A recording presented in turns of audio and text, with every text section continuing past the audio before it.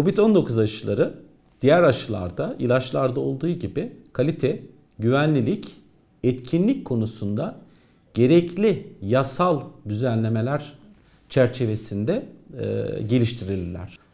Aşılar geliştirilirken çok ciddi kontrollerle üretim basamakları gerçekleşir. Öncelikli olarak faz çalışmaları dediğimiz çalışmalar yapılır.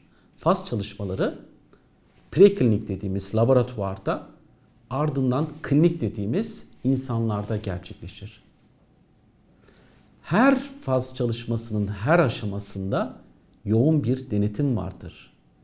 Bütün sonuçlar şeffaf bir şekilde ilgili mercilerle paylaşılır.